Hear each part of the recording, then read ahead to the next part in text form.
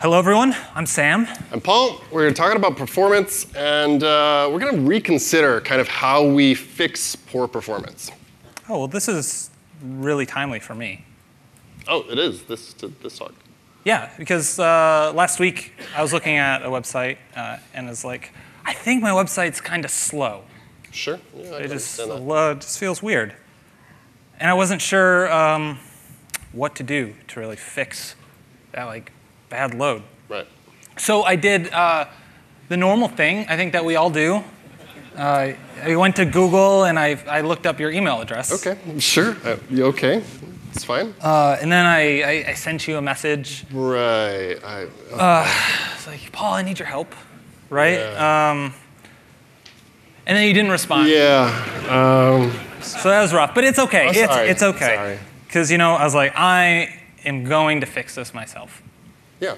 Yeah, so I went to Google again and I I typed uh, fix slow page load time, and uh, I got like all these results on Google. There was like these top 10 lists, top five. Yeah. A lot of, a lot of ways to fix my There's a lot of things, and I think we all know this. Like when it comes to performance, uh, there's a million techniques, and we kind of keep them there in the back of our mind. These checklists, and uh, well, it's hard to know like what's effective or not. So actually, we wanted to turn this into something a little bit more interactive, turn it into a little game. Uh, so we're going to play a game, and it's called Factor Fiction Perf Trials. And Paul, um, Paul. You, you said it wrong. I said it wrong. Yeah, remember we practiced this? Oh, Right? right. Yeah, Right, yeah, yeah. Okay, so we're gonna play a game, and it's called Factor, Fiction, Fiction, Perf Trials. Yeah, that's good. All right. So this game uh, is pretty, pretty, pretty good, and uh, you're going to participate like this. You can go to this uh, in your browser, your phone, laptop, whatever, and uh, we're basically going to try out a few different, you know, techniques for just making a website faster. Um, and we want to get your um, idea on if what we're if what we're doing is going to be effective or not. Yeah, like is it going to have a lot of impact or not? So you can just use the slider they have on your phone. and drag it up or down. Here, here. Let's everybody let's practice. Everyone go up. It's like positive. Is it? Oh, it worked. Cool. Everybody go down. oh man, this is like like the wave. It's, it's so good. Future. Okay, cool. Okay. All right, so the website that we're going to be looking at, uh, it's Yeah. actually your mom's website. My mom's website. So my mom is an author, and um, I was building a, a new website for her this summer. Uh, and so it's just WordPress. yeah, yeah. It's a Okay. WordPress site. Like it's a it's a really just like the kind of site that you end up with uh, like normally. So just a bunch of like plugins for for events and things like this. And but I didn't like do any optimization to it yet. Yeah. And so we're going to take this as our baseline site and see if we can make it faster. Sure, so let's just get a feel for what the site uh, is like when we load it. Yeah. So if we go into DevTools and we just turn on uh, 3G throttling to emulate what it's like on your phone, and yeah, let's just load it. Okay, so it's going. Du-du-du. Uh, Right. yeah, okay. Seems That's not terrible. seems okay. There's room for improvement. There's an opportunity. Opportunity. That's what we like to call it. Okay, uh, so I recorded it uh, using the network tab, and it looks like our final load event happens in around nine seconds. We send out 39 requests, and this is on again a, like a 3G network Yeah. Okay. So that's Okay. that's where we're starting. somewhere. Sure. So, uh, fix number one that I found on the internet. Yep. People seem to think that bundling all of your JavaScript together was a good idea. so Hmm, okay. taking all your individual JavaScript files, sort of catting them together in one file, and then shipping down. Okay. the So this is just like all the scripts, and you can cut into one file, pretty much. yeah. So uh, what does everyone think? Is this like going to be an improvement to our page load time, or going to hurt it? Mm-hmm. climbed up. Climbed up. Okay. Seems like it's sure. working its way up. All right. Uh, so I did this. Um, and our load went uh, nine seconds to 11.7 seconds. Whoa. Whoa. But it's just concatenating, which is like less requests and a good thing. Yeah, we went to 30 slower. requests. We, we made it slower. Interesting. Uh, and so we, we looked at this some more, and it turns out that since we're shipping one JavaScript file on like versus lots of individual ones, it sort of pushed out that initial paint time. Right. Quite a Uh, like bit. because you'll just have the uh, one big render blocking request, and now it's a very sizable thing in the download, especially in a throttled environment. Yeah, it's not so good. Okay. So uh, thumbs down on that one. Yeah. Unfortunately. Uh, fix number two. You told me about this one. Uh, add the defer attribute on my script tag. Yeah, so defer attribute, um, uh, kind of like the cousin, the brother of the async attribute, um, but a little different. It does, basically, the defer is uh, essentially a contract saying, I'm not using document write in this script. Um, but in addition to, to that, it allows the browser to continue to, to parse um, HTML as it just continues on the page. And you usually end up yeah, with like a, a faster thing. Um, and uh, So do you guys think it's like an improvement? Yeah. Going to help at all with our load time? Uh, it's climbing up. Okay, I'm going to say people think it's an improvement. So flat, flat, flat.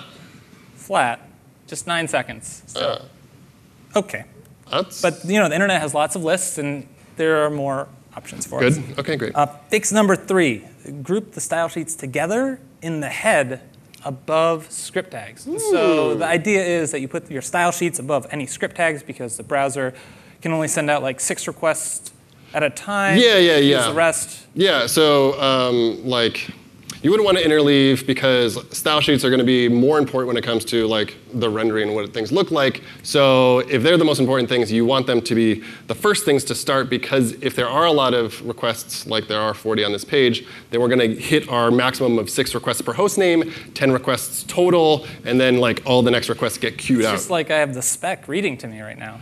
It's actually um, the this behavior of six and ten is unspecified. However, all browsers do implement it the same way. So today I learned. Hmm?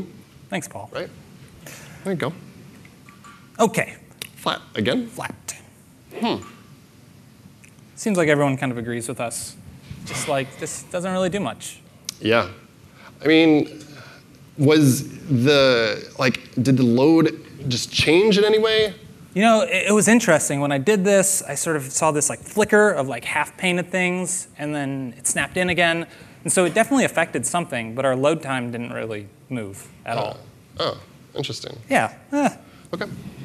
All right. You got one more? Fix number four. I really like this one.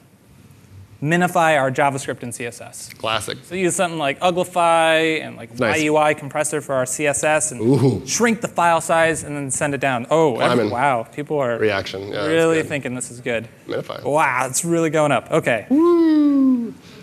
I mean, Minify is It's less bytes. the jam. Yeah. Yeah. It's less bytes. It's good. Hey, okay, it worked. Uh, And yeah. it did something. So we're down to 7.6 seconds on that load. Thumbs up. That's pretty solid. Yeah. Yeah, nice. and this is without any of the other fixes. We just minified the sources. So Right. we're still shipping the same number of files, which is like 40, 39, cool. and it dropped us like a lot. It's good. What if we took all of them and we put them together? Good question. Okay, so all four fixes at the same time, like, what do you think? Effective? Not? Like, Will it be more effective than, than uh, fix four on its own? No? Somewhat positive. Positive. Po- uh, okay. Turns out we basically hit the max when we did the compression of the Yeah, just files. like marginally better than, than the minification that we were just looking at. Yeah. It. So it took like the best case load time that we had and shipped less requests. So Okay. I mean, we had an improvement. Yeah. And in fact, before we move on, uh, this is the end of the interaction, but can you get that off the screen? Oh, I guess. Cute. I guess before someone figures out how to, you know, send the messages. to Yeah, just open up the console and Yeah, we'll spam just- it with uh, it and then start doing loops. Real quick. Okay. Okay, good. Um, so we were using onload as like our just measurement, uh, our metric that we're just like for all those. Yeah, right. But you were also pointing like onload is kind of a crude metric. You were pointing out that in the style sheet one, you actually that number didn't change, but you saw things were rendering uh, like starting a little bit earlier, even though it ended at the same time, right? Right. So, like, there's this question: if we're really trying to evaluate the load time, like, can we use something a little bit better? Like, can we use better metrics than mhm, than uh, onload? And so, um, Sam and I have worked on a project with some other folks uh, called Lighthouse. Um, Lighthouse does a lot of things. It does auditing for best practices of web development, and especially around progressive web apps. But it also does uh, a nice job of, of measurement and, and delivering high quality performance metrics. Um, and so this is just a screenshot of what Lighthouse looks like on the command line. So it's available just on the command line. You can run it in continuous integration, but also in a Chrome extension And in a few a, places. a node module. Like we used the node module in Yeah. this case. Yeah. So actually, we took the node module and then just put like a little charted uh, uh, module in front of it and a little tool called PW metrics. And so it just passes a URL, it runs it through Lighthouse, takes the numbers out, plots them. And these are all like more meaningful metrics for us when we're trying to measure this page loading and when it's interactive, when it paints, and when a user can start to sort of use the site. Yes, actually, exactly. So we ran this uh, on the site with Yep. before and after. So top is before the baseline, no changes at all, and the last one is this with everything After. applied. Yeah, yeah, Yep. yeah. And so you can see that we, we shrunk that time to interactive, which is basically when the user can start using your application, Yep. and in this case, the website. Um, so we went 3,900 milliseconds to 3,300. So It's faster. 16% faster. Yeah. It's not bad. That's yeah. yeah we took some techniques that we found online and we applied it to this very specific site. Yep. We did get some wins. Yeah, totally. Um, but also, like, just going through this, I just kind of wondered. I'm looking at it, you know, 16%, like that feels good, and that's that's that's worth something. But also, like, how fast could it be? Like, are we anywhere near close to like bottoming out at like the point of diminishing returns, or like plenty of room left? And so, like, the way that we did this was we just basically take these techniques that we saw, try them out, see if it works. Reload the page, like, uh, it seems faster, maybe try some more. Eh. Yeah. You just keep stacking. And so I want to like think about what if we could kind of invert that process instead of just going right at it and applying fixes. Kind of what if the fix is the last part that we do? So starting in kind of the first place, what you really want to identify is the the user perceivable effect. Now here we're talking pretty much about just page load Right. and just that kind of narrative of going from a blank page to things on it. Um, but we could be talking about scroll, input latency, other interactions like that. Um, after that, you want to kind of look at what is happening, identify the kind of the, the critical path, and figure out what is the primary cost, what is consuming time. Um, from there, you're gonna like, you're like something looks interesting. It looks like there's some behavior that's a bit unoptimized. Yeah, like the cost is going to be because of a reason. Right. So you're going to drill in, and ideally you're going to find the reason why it's slow. Yeah. And so the reason why it's low is, is the root cause. Um, and you're like, this is the thing. And at that point, that point's a good time to try and apply some fixes. So we kind of just go through the measuring and profiling, diagnosing, identifying, and then we attempt some fixes, and then we're in a good place. I like that. That's good. Like you measure, you profile, Yeah. diagnose. It's, it's like uh, MIPDIA. It's like MIPDIA. MIPDIA. It's what MIPDIA? MIPDIA. You measure, you profile, you diagnose, you identify, and you attempt. oh, you're making an acronym about. MIPDIA. MIP, MIPDIA. MIPDIA. It's the new framework for performance diagnosis. There was RAIL, and that was cool, but that's so like 2015. Sure. MIPDIA is so 2016, Yeah, totally. right? Like you just hear MIPDIA, MIPDIA. No. Like people are shouting it. I hear it. No. really? Come on. No. All right, it's, it's fine. Well, just kidding. All right. So first step in Measure in MIPDIA. In MIPDIA. You need to measure, and measuring is important Yeah, because before, right. if you don't measure, Yeah, I got it. you can't do the rest. The d- d- dia. Right.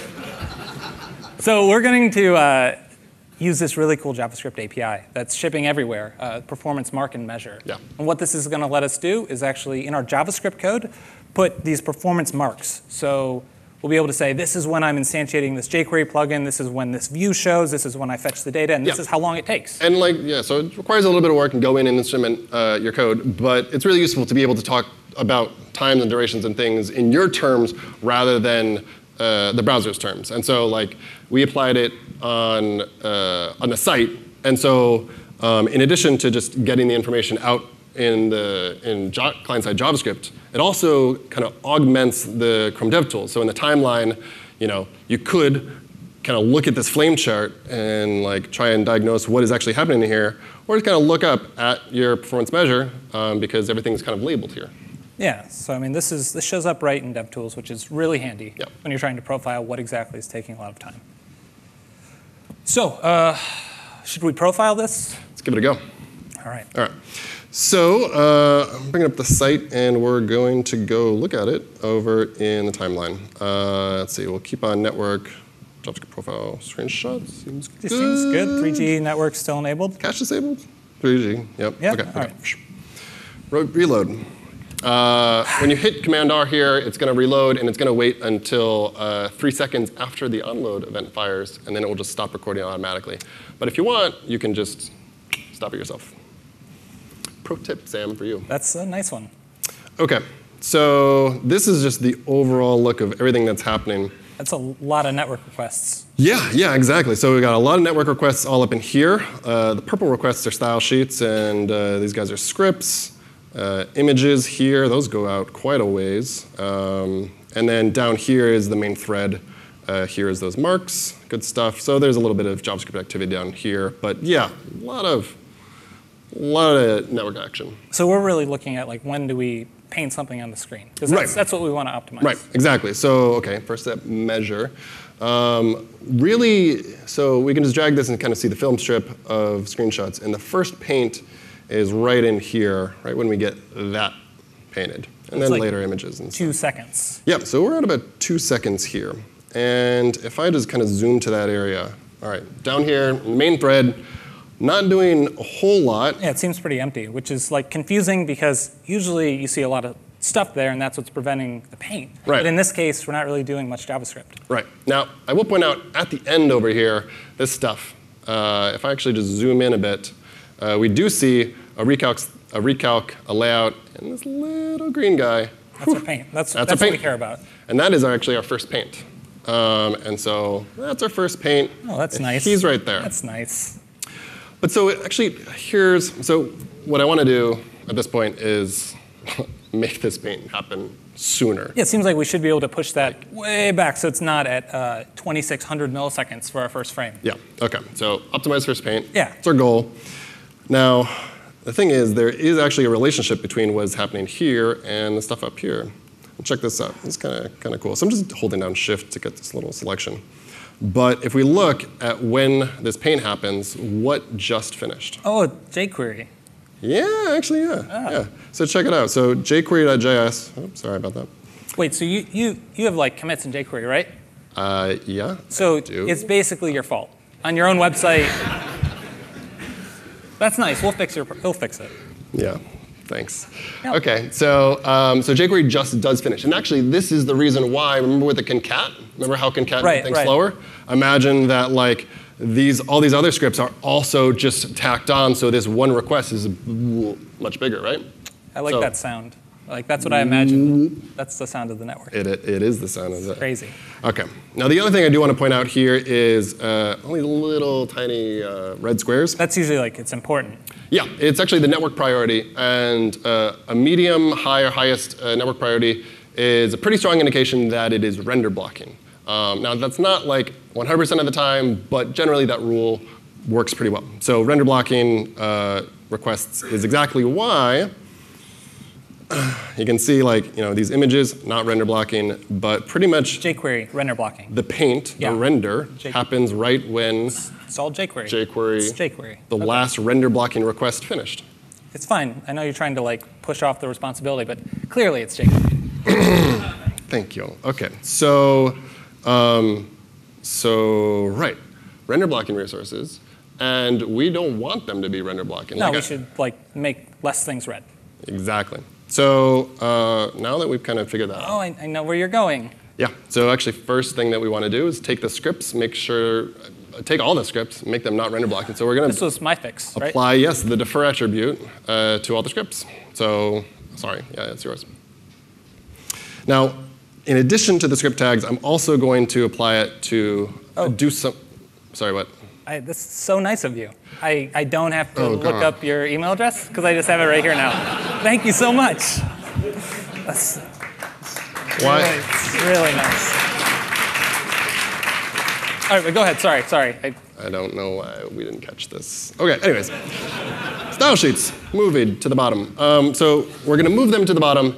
And actually, this is pretty cool. Um, moving style sheets to the bottom, kind of we've always thought that like that might be better if you don't if they're not super important.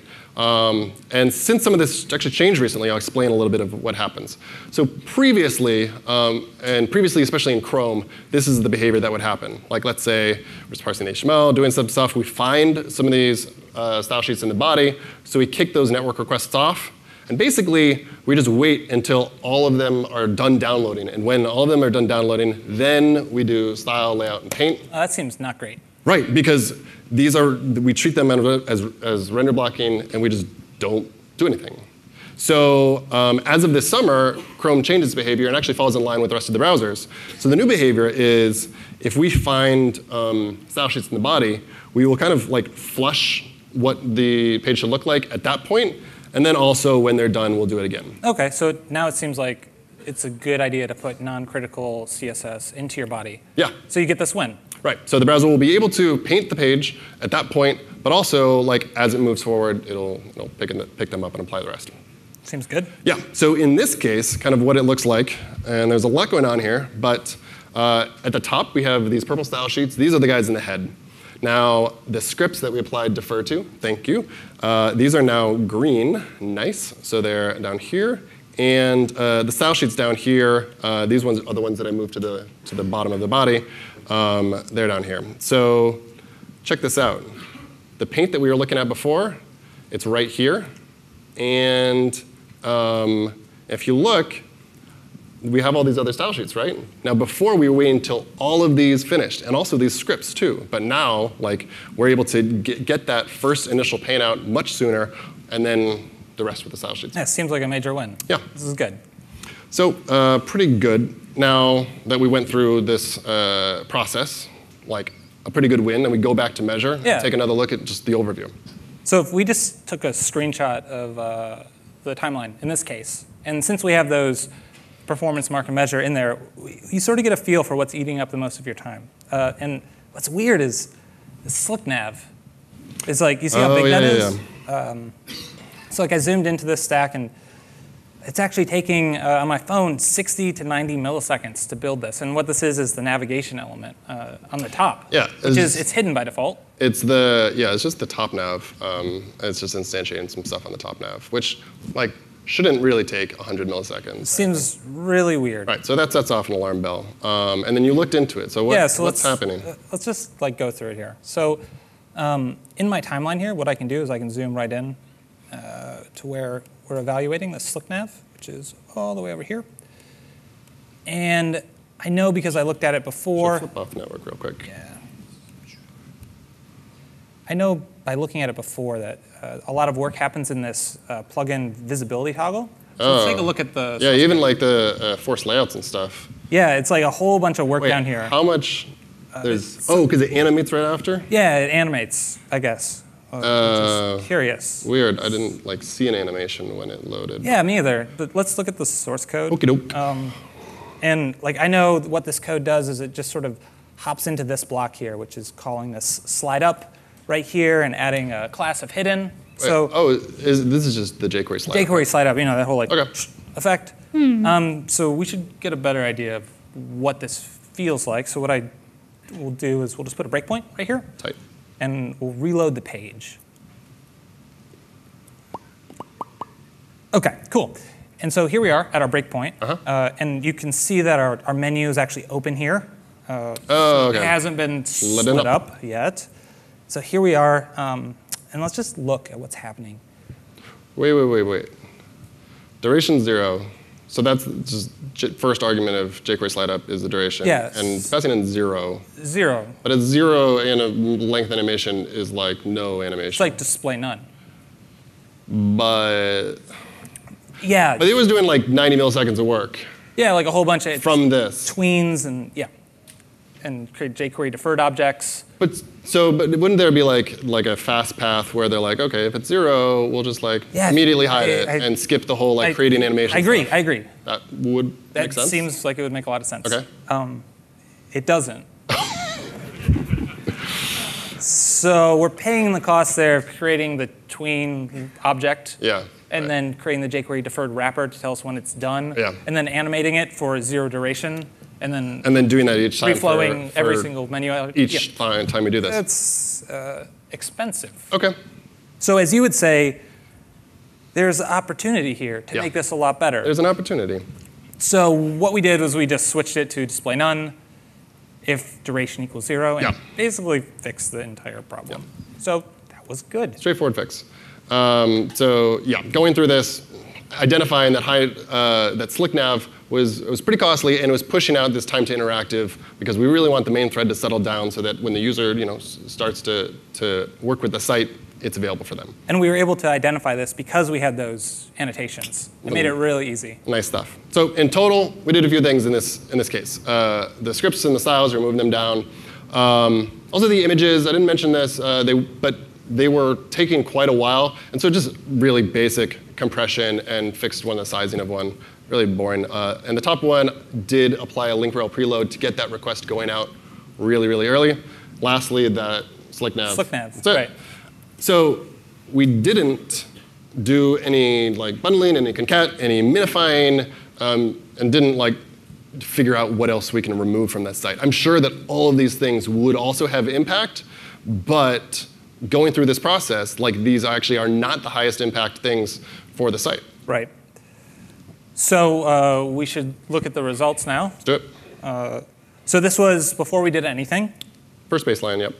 Then this was after my fixes. Good stuff. Which are pretty nice. It's good. Then these are with your fixes. Yeah. So uh, a few things to point out. The contentful paint, that first paint where there's actually stuff on the screen, that came in quite a bit, and a lot of that had to do with the, the defer and the async and, and all that stuff. And also, but the time to interactive also slid in uh, quite quite a bit. Yeah, So we were able to drop that a lot. Yeah, yeah, We went from 2,400 milliseconds to 1,500 milliseconds, which is great. Pretty good. And this is on a 3G connection too, Yep. which is really good.